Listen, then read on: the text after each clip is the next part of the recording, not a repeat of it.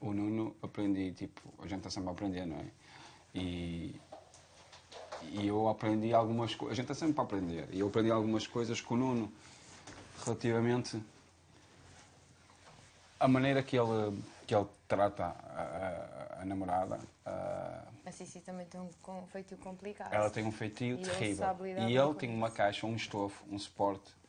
E por muito que ela discuta, e ele por vezes fica chateado, passado dois minutos já está ali, pem, a dar carícias, a dar festinhas, a dar miminhos, a é. dar isto, a dar aquilo. E tipo, eu identifiquei muito com ele, revivi ali algumas coisas que se enquadram muito comigo. E revivi ali coisas que eu também já o fui, que o fez. E então, às vezes, havia momentos que eu não era tão ponderado, era mais explosivo. Porquê? Porque eu eu estava a fazer o bem e, as- e, eh, no meu entender não estava não me estavam a retribuir o mesmo da outra parte e às vezes eu ficava um pouco magoado.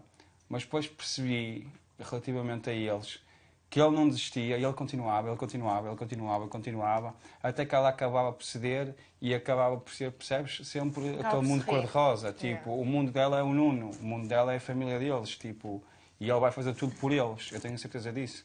Independentemente que algum dia Possa acontecer. possa acontecer alguma coisa, eu sei que ele vai fazer sempre tudo por eles, sempre. E isso é muito bonito. E eu, quando construir a família e quando tiver filhos como ele, como ele tem, quero ter e quero, e quero ter a percepção da realidade e quero ter aquele caminho, o caminho dele, o caminho que ele segue, os ideais dele para com a família, eu quero, quero ter esses mesmos ideais.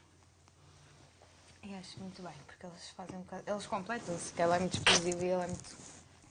É um pouco como nós. E eu vou ser sincero, eu na relação sou muito ponderado. Sou muito calmo, tranquilo. É completamente.